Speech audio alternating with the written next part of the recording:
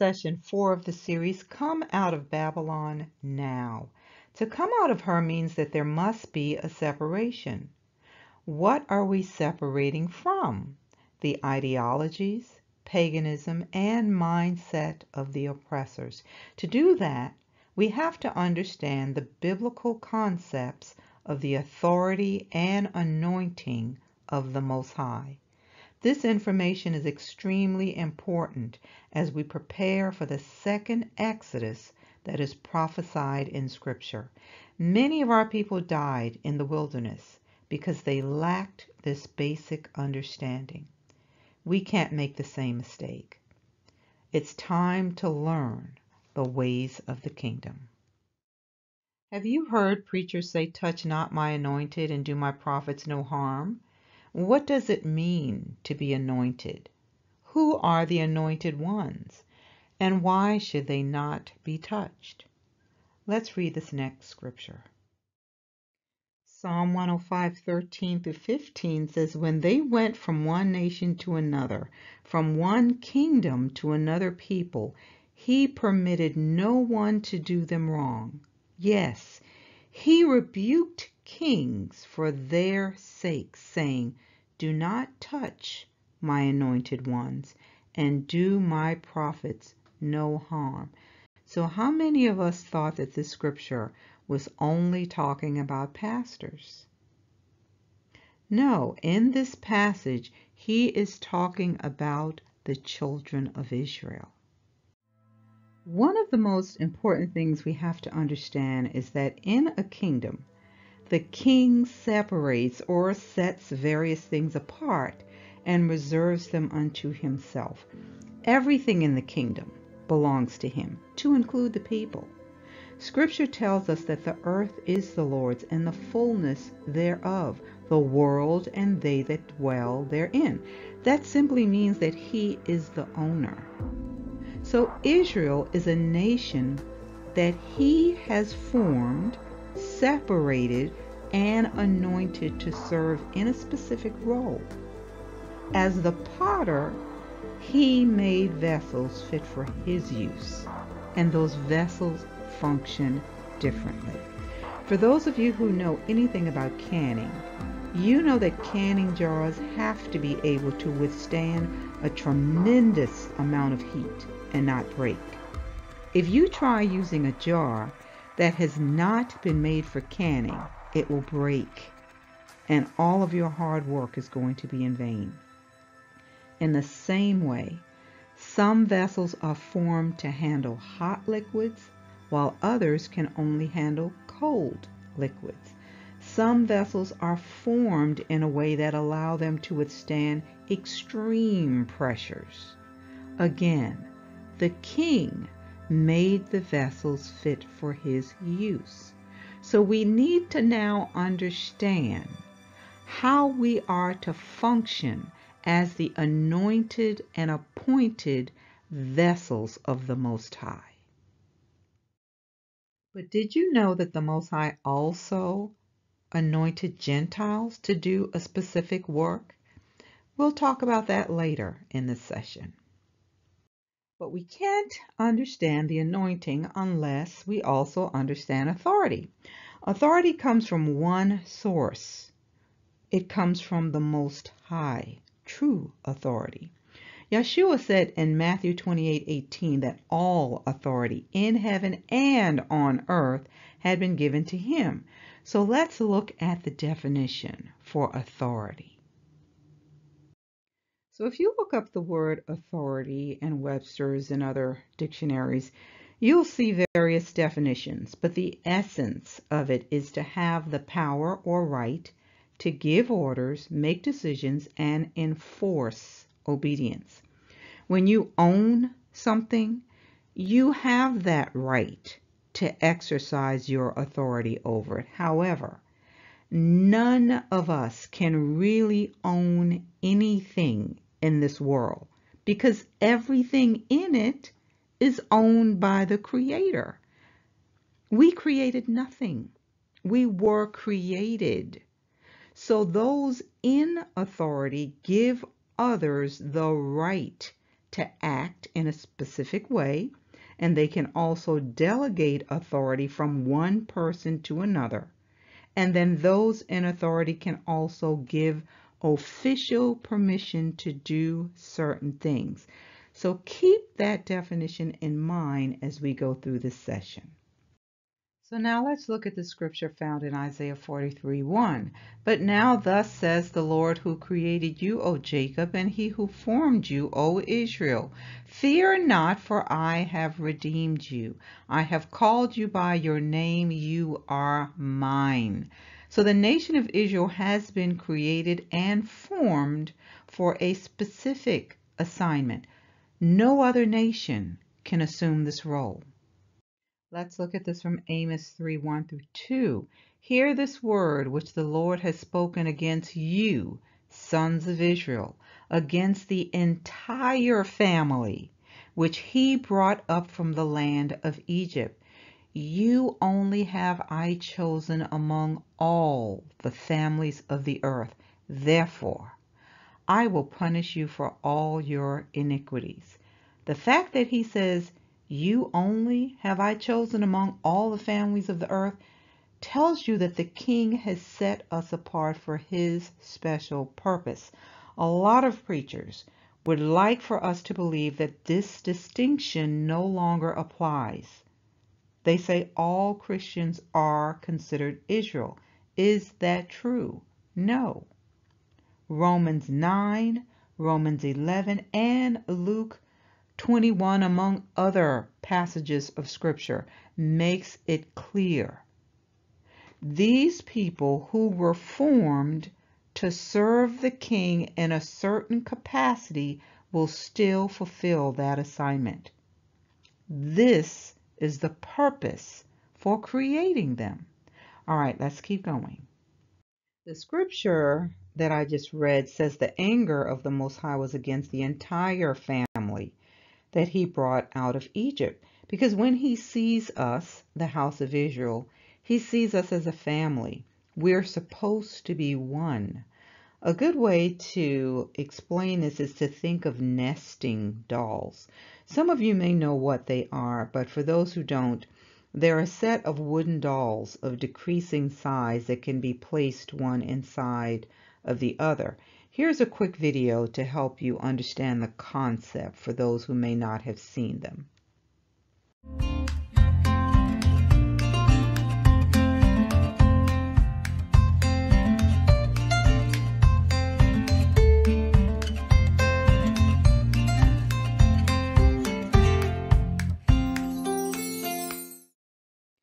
As I read this passage from John 17, 20 through 23, I want you to picture the nesting dolls that you just saw.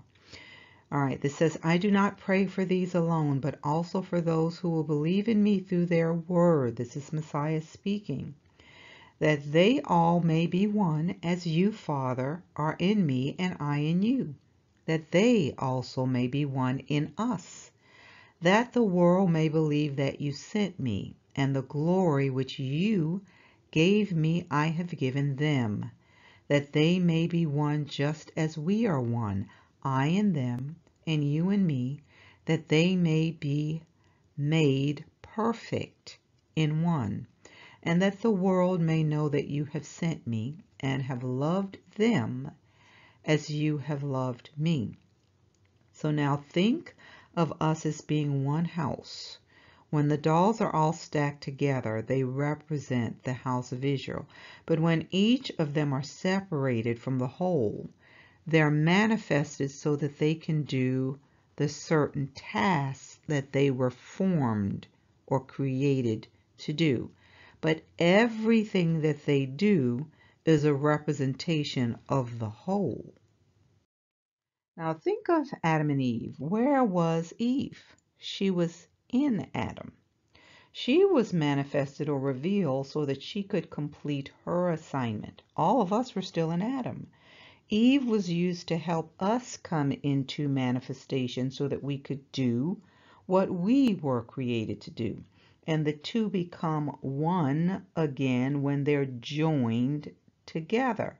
So in the eyes of the king, we are one when we are aligned properly, when we function according to our assigned task.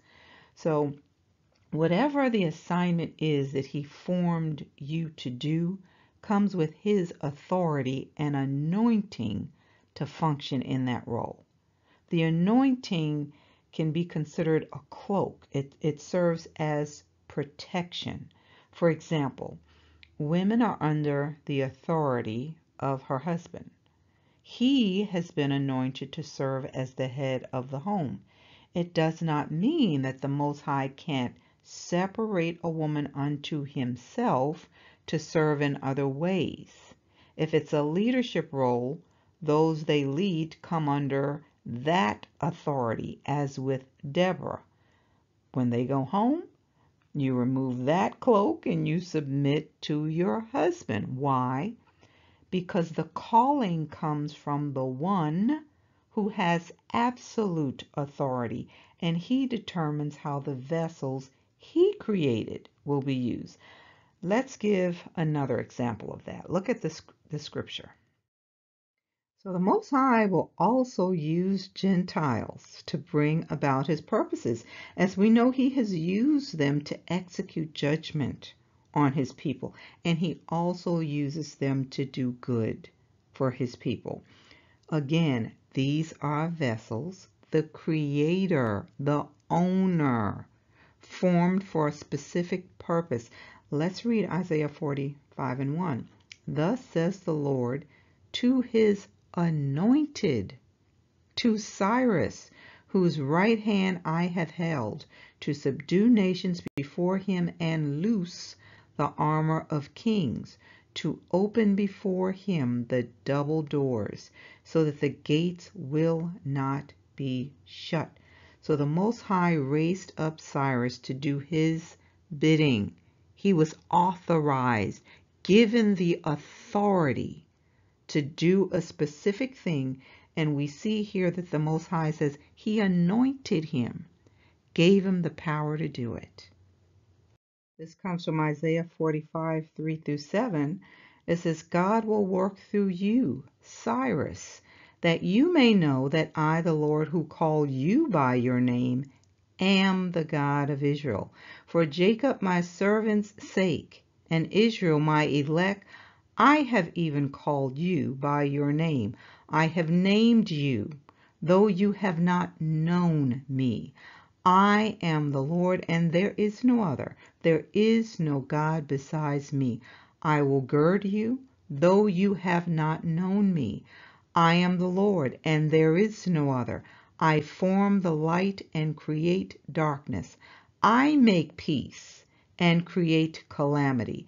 I, the Lord, do all these things. So if you notice here, what's happening is he used Nebuchadnezzar to punish his people. Then he raised up Cyrus to deliver them from their captivity. He said to Cyrus, I'm doing this for Jacob, my servant's sake, and Israel, my elect. It's amazing. Let's keep going. This wasn't the only time that the Most High used another king that he was not in covenant with for his purposes. You find the story in Second Chronicles 35, 20 through 24, where there is the story of Pharaoh Necho, the king of Egypt. He came to the river Euphrates to fight against uh, Carchemish in obedience to the Most High's instructions. But King Josiah of Judah went out to fight against him. And Necho tried to warn him by sending messengers to tell him, look, I don't have anything to do with you. I didn't come to fight against you. He's telling him, I'm following the instructions of God. He commanded me to do this. But Josiah didn't listen. So let's read this and see what happened. So it says, After all this, when Josiah had prepared the temple, Necho, king of Egypt, came up to fight against Carchemish by the Euphrates, and Josiah went out against him. But he sent messengers to him, saying, What have I to do with you, king of Judah? I have not come against you this day, but against the house with which I have war. For God commanded me to make haste. Refrain from meddling with God, who is with me, lest he destroy you.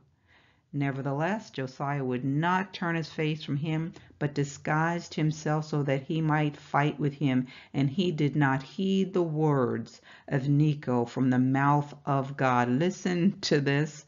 The Most High was telling him, look, stay out of this. I'm using this pagan king, but he didn't listen. So he came to fight in the valley of Megiddo, and the archers shot King Josiah and the king said to his servants, Take me away, for I am se severely wounded.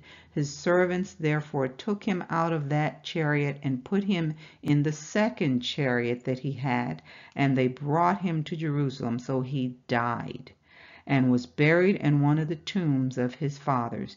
And all Judah and Jerusalem mourned for Josiah. So we see that yes, the Most High can use unbelievers. Let's keep going. But really, it's all about the king having the right to use the vessels he created in any way he chooses. But for believers in Yeshua who are desiring to be used, you can. Messiah talked about making the inside of the cup clean. In him, there is neither Jew nor Greek, slave nor free, male nor female. So go beyond doing just enough and make sacrifices. Make yourself uncomfortable when it comes to the King. Get out of your comfort zone. Spend more time worshiping, spending time in His presence, fasting, praying.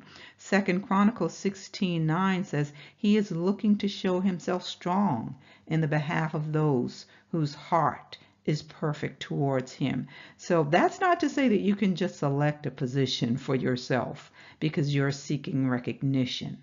The king already knows what you can handle. Let's keep going. So the point is that some envy those who may be operating at higher levels, not realizing that the person is simply doing the thing they were created to do. As a result, they received the anointing to carry out that specific thing. What what they really envy is their glory. They want the attention and the praise that comes with the position. This is what happened to Satan. He was envious of the glory of the Most High. Moses had those who envied him. Messiah had to deal with envy. But the question that we fail to ask is, can I withstand the pressure that comes with the position. Because the higher you go, the more devils you have to deal with.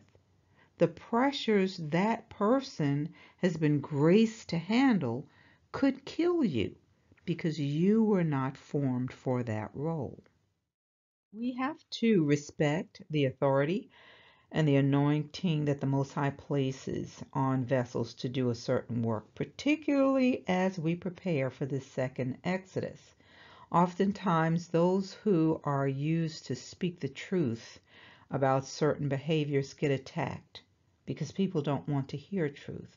They don't want to give up the thing that they are already being convicted about.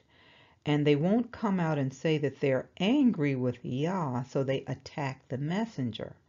A lot of our prophets died as a result of this. They were treated horribly for speaking what they had been given to say. They became the scapegoat for those who were really rebelling against the Most High. This hasn't changed. There are some who twist Scripture to carry out wicked desires of the heart, like those who use Scripture to justify slavery. And then there are those who ignore Scripture that address behaviors that they don't want to give up. So they hop from one teacher to the other teacher to the next teacher, looking for those who will agree with them. They're reading the same book as the rest of us, but they disagree because the word is speaking against something they're involved in. We have to accept that there are certain restrictions placed on the royal family because of their function. The mandate came from the Most High It didn't come from man. So we have to stop hating. The Most High will help us to recognize those he has anointed. He gives us signs to confirm them. So when Joshua replaced Moses, he affirmed Joshua when it was time for Joshua to lead the people into the promised land. The Jordan River parted, just like the Red Sea parted for Moses. So it was made clear that Joshua was the one appointed to replace Moses. The anointing is the power attesting to the authority that the representative has been given, and we shouldn't treat it as common. When interacting with the power of the sovereign and his representatives, you you either bend to that authority or you break because you're submitting to the authority of the king, not the person. So again, we should be very careful about rising up against those he has placed in positions to lead. Pray for discernment if you're not sure. And this is really important because sometimes the closer you are to the anointing, the easier it is to treat it as common. When you think about everything that Mo the Most High did through Moses, why was it so easy for 250 men to rise up against him? That's a dangerous position to be in. It can get you killed. Look at this passage from Numbers 12. We'll read 1 through 3. Then Miriam and Aaron spoke against Moses because of the Ethiopian woman whom he had married for he had married an Ethiopian woman. So they said, Has the Lord indeed spoken only through Moses? Has he not spoken through us also? And the Lord heard it. Now the man Moses was very humble, more than all men who were on the face of the earth. So the real reason for their anger wasn't the woman Moses married. They were envious. They resented the level of Moses' anointing and his authority. It had nothing to do with the woman he married. That was only the cover story. So they looked for a reason to come against him. But don't miss the point that they are Moses' brother and sister. This was an inside attack. They treated his anointing and authority as common.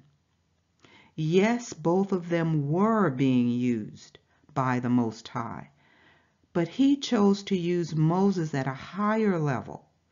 Let's continue reading to see how the Most High responded to them.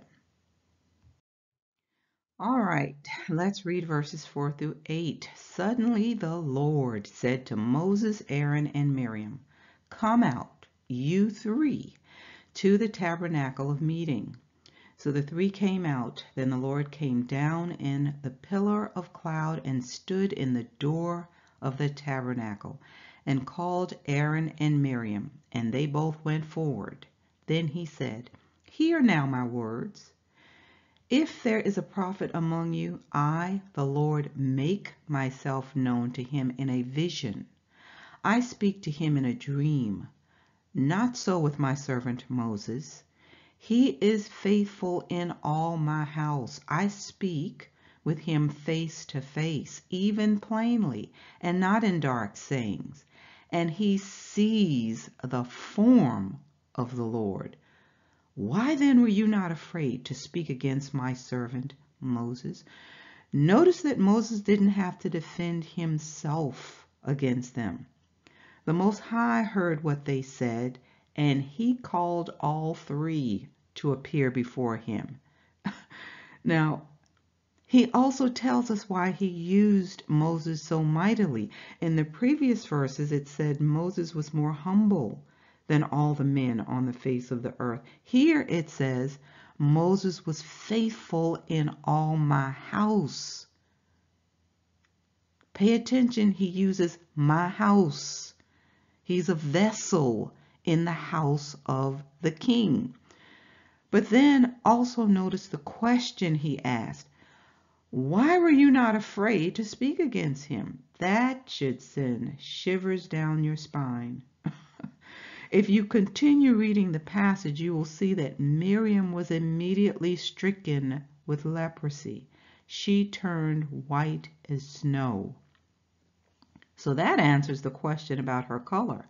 If she was already white, how could she turn white? But if you're reading that, it would appear that Aaron escaped punishment, but did he? We have to keep going because you will see that not long after that, another incident happened. And the very words Aaron spoke against Moses was spoken against him. He reaped what he had sown. Let's keep going.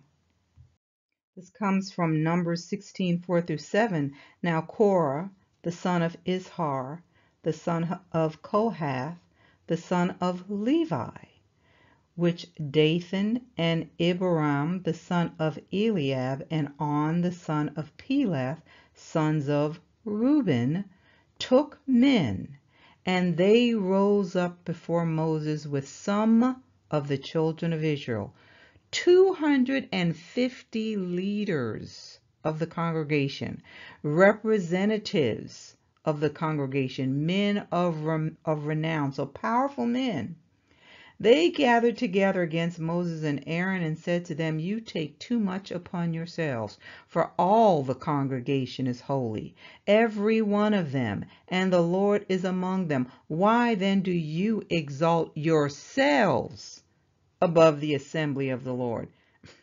Basically, they were in leadership, but they didn't really understand or did not want to submit to divine order.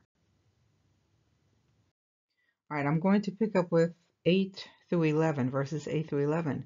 Then Moses said to Korah, Hear now, you sons of Levi, is it a small thing to you that the God of Israel has separated you from the congregation of Israel to bring you near to himself, to do the work of the tabernacle of the Lord, and to stand before the congregation to serve them?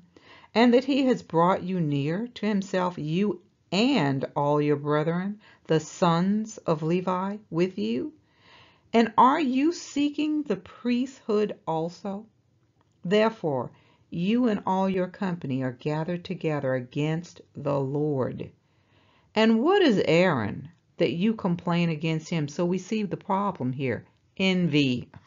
Again, they had an assignment, but they wanted to do what Aaron had been appointed to do. Let's keep going with this. And Moses sent to Dathan and Abiram, the sons of Eliab, but they said, We will not come up.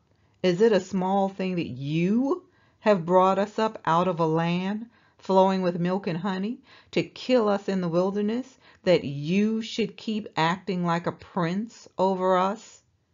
Moreover, you have not brought us into a land flowing with milk and honey, nor given us inheritance of fields and vineyards.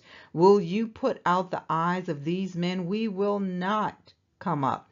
Now see, this tells you their beef was not really with Moses.